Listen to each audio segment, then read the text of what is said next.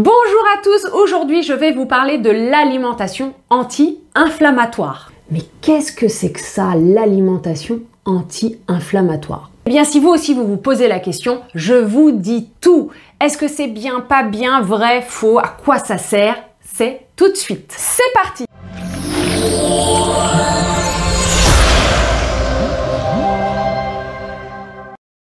Alors la théorie repose sur le fait que une alimentation anti-inflammatoire va vous permettre de diminuer les inflammations qu'il y a dans votre corps. Jusqu'ici, ça va.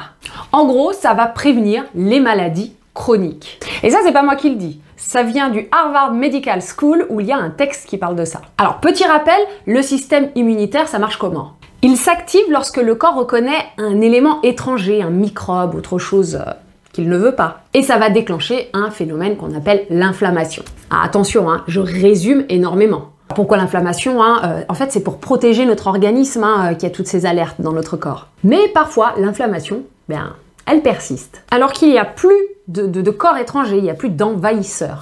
En maladie chronique, on parle de quoi? Des maladies cardiaques, du diabète, de l'arthrite, la dépression, la maladie d'Alzheimer. Toutes ces maladies sont liées à une inflammation chronique. Alors l'idée, c'est de manger anti-inflammatoire. Attention, bien sûr, je ne dis pas qu'en mangeant ce que je vais vous dire juste après, vous allez guérir de toutes ces maladies. En tout cas, c'est un bon moyen de prévenir ou de ralentir la progression des maladies chroniques. Alors, quels sont les aliments qui créent l'inflammation?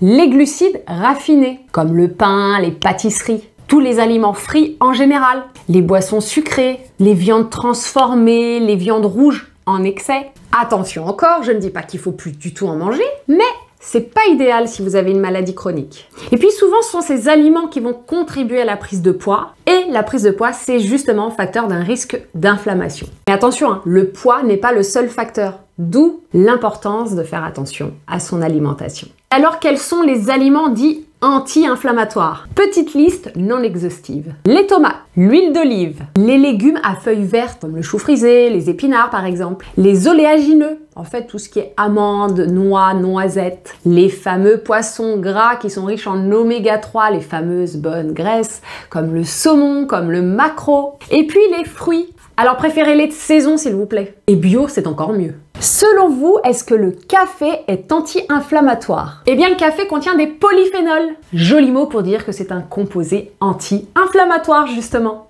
Donc, il peut également protéger de l'inflammation. Attention, hein, buvez pas des litres de café par jour, mais si vous en buvez de temps en temps, ça fait pas de mal. Donc vous avez compris que cette alimentation anti-inflammatoire dont on entend souvent parler est très proche d'un régime alimentaire que vous connaissez certainement déjà, dont on parlait beaucoup il y a quelques années. C'est ça, le régime méditerranéen ou le régime crétois, vous l'appelez comme vous voulez. On en revient toujours à la même chose. Manger méditerranéen ou crétois, c'est ce qu'il y a de mieux pour la santé. Un point, c'est tout.